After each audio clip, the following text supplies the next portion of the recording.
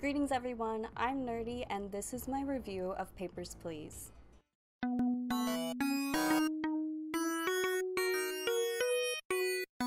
Papers, Please is what I like to call a job simulation game.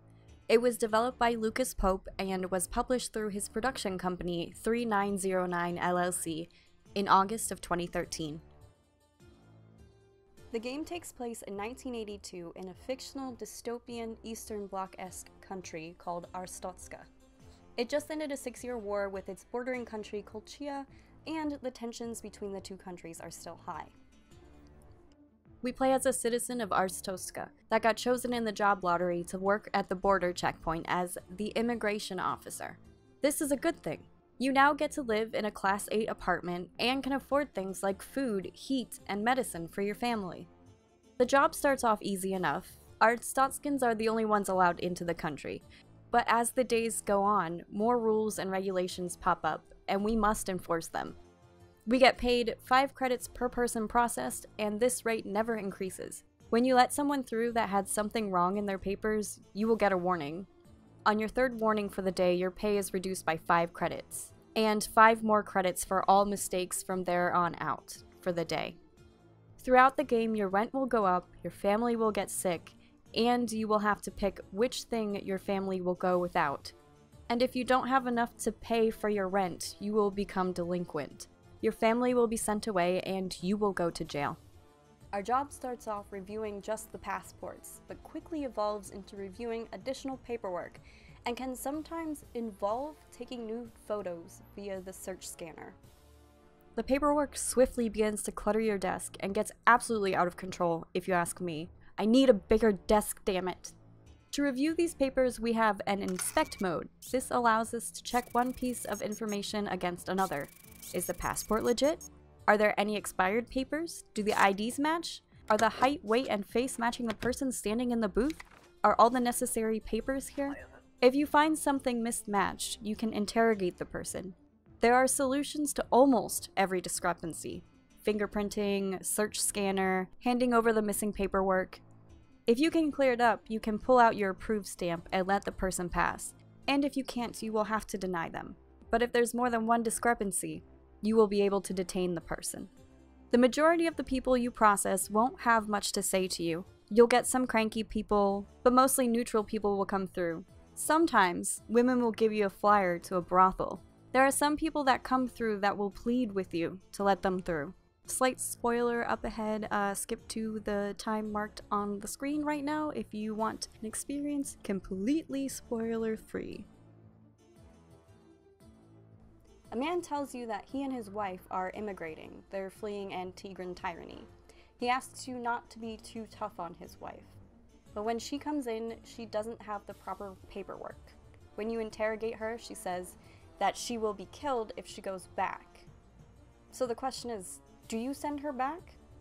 You will get in trouble for letting her in, and depending on how many times you've gotten in trouble that day, your pay might be docked. If your pay is docked, is it worth risking your family a meal or heat or medicine for the day? There are a couple stories that make you choose if you're going to let people through or even to take a bribe so you can afford to keep your family alive. But you always have to take a risk when not sticking to the rules. Will you play as a drone for Arstotzka? Or will you make your own choices? The amount of paperwork that you have to go over becomes stressful, at the end of each day, you have to manage your finances, and sometimes you can upgrade your desk to make your work faster. Things like spacebar to inspect and tab to pull out the stamp bar, but this costs credits. Credits I don't have. So what if I take a bribe or two? I mean, like, I have to work my ass off, so my family doesn't either starve to death or die of an illness. Rent keeps going up, and you guys keep giving me more paperwork to go over to clutter my desk and bog down the system, and you don't even have the decency to give me more.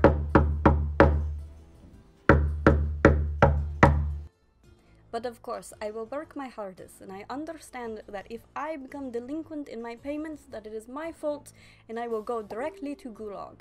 Glory to our Arstotzka.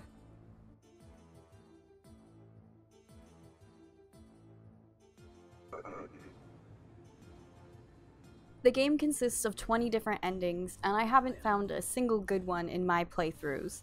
There might be one, I am not sure, but good luck with that. I did and still am enjoying playing through the story of Papers, Please. I also enjoyed the pixelated art of the game. The colors used for the booth makes it more dreary, and the way the people and landscape looks in the monitors really drives home that dystopian feel for me. The same goes for the audio in the game. The crunchy noise of the voices makes everyone sound so depressed, and the printing noise of the citations quickly became a noise that I dreaded. I absolutely love the crisp paper sounds. That's some quality eargasm stuff right there, guys. Plus, the music in the game is perfectly thematic to the whole Eastern Bloc dystopian feel, and it sounds good. My brother has been asking me to play this game for years, and I'm not really good at listening to him. Like, he bought me Alien Isolation, like, when it came out, and I still haven't played that. But anyways, I kind of wish I did play this game sooner, because I really enjoyed it. I mean, like, you know me, I love job simulators, and I love stories, and this one has both. So I would fully recommend this to anybody who likes job simulators with a dystopian twist. It's pretty, pretty niche, I guess.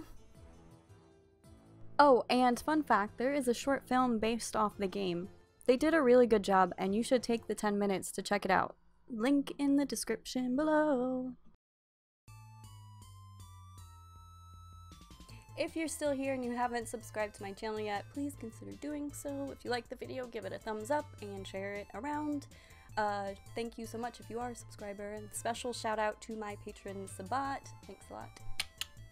And also, social media links are in the description below if you want to follow me on those things, I guess. And uh, I guess that's it for me. I'll see you guys in the next one. Bye! Sorry. terrible